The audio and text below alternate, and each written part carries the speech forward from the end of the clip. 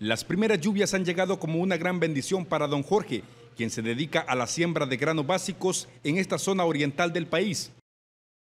Eh, preparar la tierra, digamos, como jueves o viernes para el siembro de una pepinera, que esperamos contar casi como con 2.000 semillas. Está lloviendo, pues ya los, este, los, motivamos para, para sembrar, va.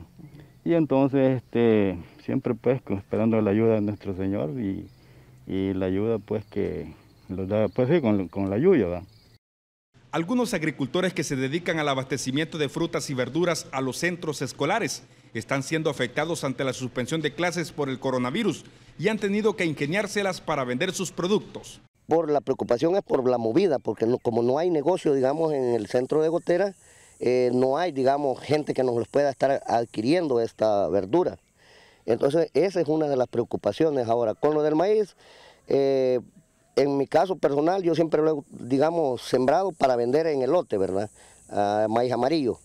Y cuando, bueno, que cuando hemos estado en el proyecto de las escuelas que les repartimos, eh, la mayoría ellos ah, también adquieren maíz amarillo para lo, lo que son los estudiantes.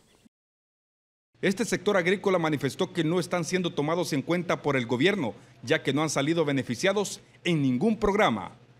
Para Carasucia Noticias, Miguel Castro.